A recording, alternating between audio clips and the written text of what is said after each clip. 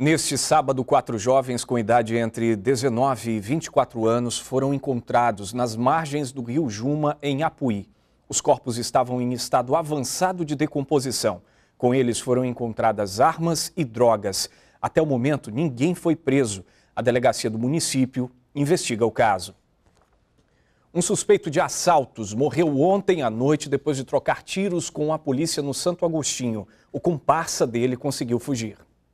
Marcos Paulo Mota, de 22 anos, foi morto pela polícia durante tiroteio. Ele tinha uma tatuagem de palhaço no braço esquerdo, símbolo no mundo do crime de quem é assassino de policiais.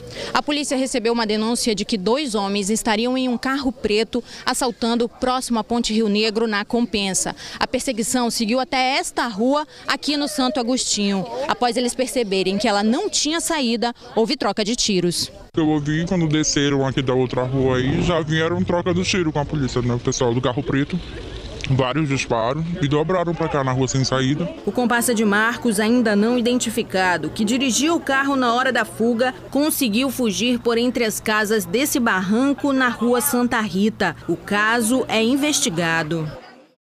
Muitos pais aproveitam que o ano nem terminou e já antecipam as compras de materiais escolares. Há quem diga que neste caso a economia pode valer a pena.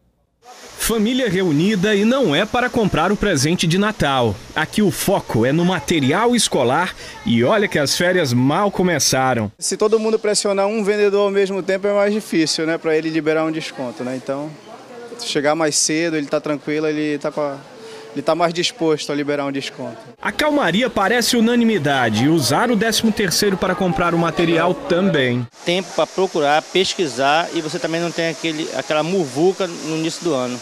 Tá usando 13º para isso? Também, né? Nesse momento de comprar mochila, o que, que vale? A, mais a opinião dele ou o preço? O preço.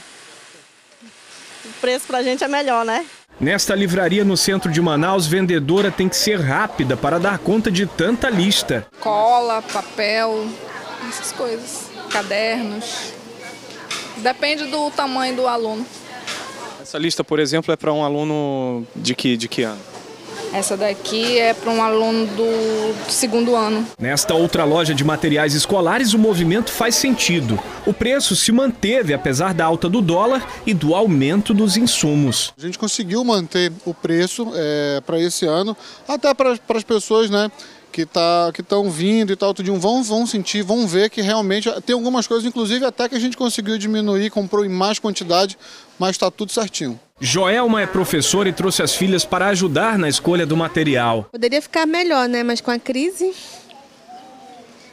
Trazer as duas gasta um pouco mais?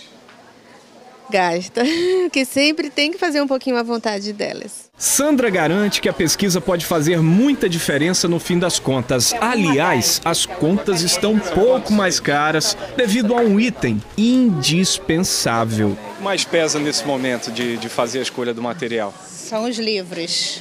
Os livros realmente estão bem caros esse ano.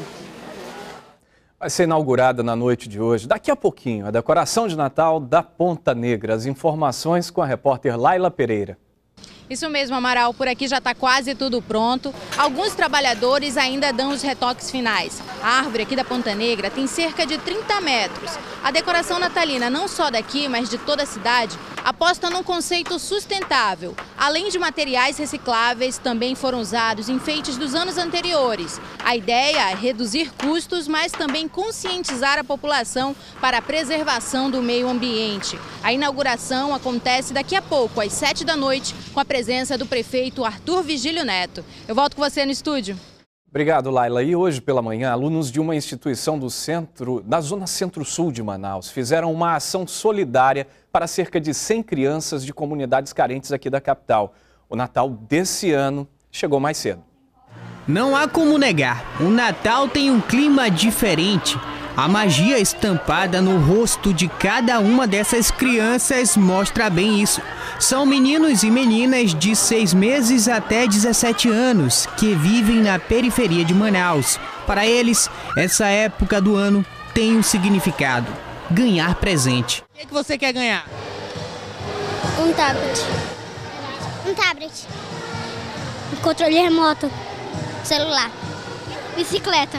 Um carrinho de controle remoto. Aqui cada aluno é padrinho de um deles. A Calissandra presenteou o Pedro Henrique. O resultado é a felicidade dele. Mas não foi só o Pedro que saiu feliz daqui. Ao todo são mais de 100 brinquedos, todos foram conseguidos pelos alunos da instituição por meio de doações, mas não foram só as crianças que saíram ganhando não. Isso porque cada um dos pais recebeu uma cesta básica como esta, completinha, com tudo dentro, feijão, arroz, café e pelo menos a ceia de Natal está garantida. Tem muitas donas de casa que não está trabalhando nessa crise, né? Uma cesta que vai vir para a gente é bem-vindo, né?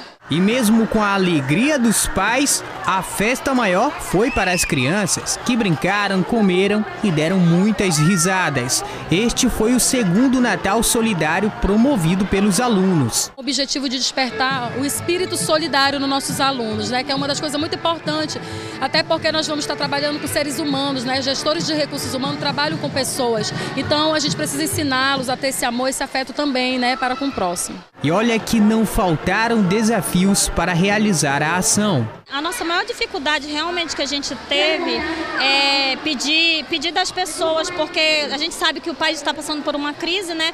Então é muito difícil, mas graças a Deus que Deus abriu as portas e várias pessoas, né? Vários, a gente conseguiu vários patrocínios. Mas no fim deu tudo certo e o resultado não poderia ser melhor. Eu tirei o meu tempo, entendeu, para me dedicar só para ação social. E gente, assim, é cansativo, é, mas assim, o que vale a pena é ver um sorriso gostoso de uma criança. Todo esforço vale a pena. A prova disso está aí. Criança feliz representa um mundo melhor para elas e para nós. Rapaz, até o Coelho da Páscoa aproveitou. E ontem à noite, crianças e adolescentes com deficiência encenaram um alto de Natal na escadaria do Teatro Amazonas. Um alto de Natal diferente de tudo aquilo que você já viu. No palco são cerca de 100 crianças e adolescentes com algum tipo de deficiência. Aqui as limitações não são um problema. Eles se transformam em atores e emocionam. Washington e Débora, os dois com deficiência mental, deram vida a José e Maria. Tenho muito amor por essa turma, estou me apresentando hoje, tá? Mas eu acho que eu vou chorar hoje. Eu sou José, que eu vou andar, entendeu? O pai, pai da Pai de Jesus. O alto de Natal se passa na floresta amazônica. Tiago, filho de Dona Célia, homenageou o avô seringueiro. Que meu pai trabalhou no seringal, né? Meu avô, né? Aí eu fui lá no fundo do baú e puxei, né? Tanto que ele tá com a faquinha, né? Que o seringueiro tira o leite, né? Foi personalizada pela tia, né? Olha aí. Tia. A faquinha do seringueiro, o caneco, né? Tradicional, o facão, olha. Eu fiz, eu fiz o que deu, né? Márcia era só orgulho da filha Gabriele. A menina de 18 anos é autista.